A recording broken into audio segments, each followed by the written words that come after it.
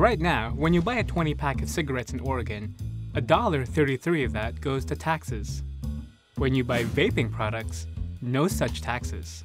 Generally speaking, for a consumer, smoking is relatively cheap in Oregon.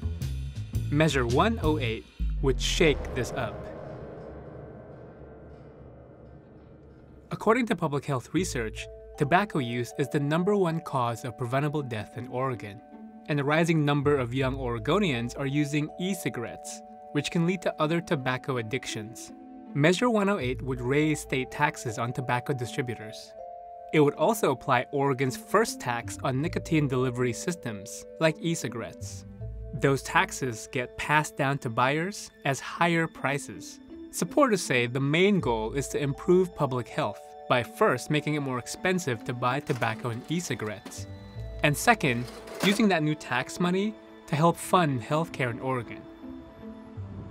Here's how it'll work voting yes means the measure goes through, and the new tax rates kick in starting January 2021.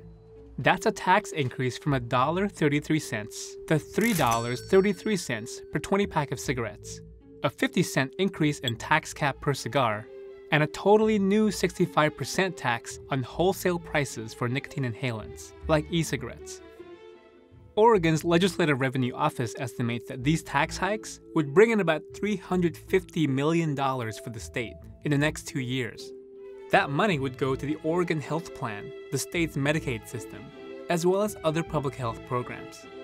For context, this would come at a time when the state is forecasted to lose billions in state revenue in the coming years due to the coronavirus pandemic.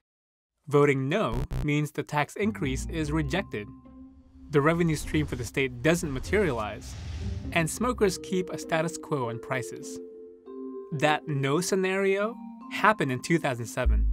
A similar cigarette tax increase was on the general election ballot that year, and it was handily defeated due to strong opposition funded by the tobacco industry, which outspent proponents 3 to 1. But this time around, Measure 108 built up a well funded campaign, including almost $9 million in contributions from seven health systems that do business in Oregon. Supporters view this as a win win. The state needs money, and this seems like an efficient way to improve healthcare for Oregonians while increasing revenue.